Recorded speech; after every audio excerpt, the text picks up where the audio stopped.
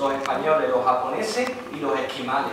Otra cosa es cómo la gestionamos. Y les puedo asegurar que nosotros, a nivel de gestión de emociones, podríamos aprender mucho de los orientales. Ahora, eso sí, no esperemos ver a un oriental con el desgarro, por ejemplo, que nosotros manifestamos en un entierro.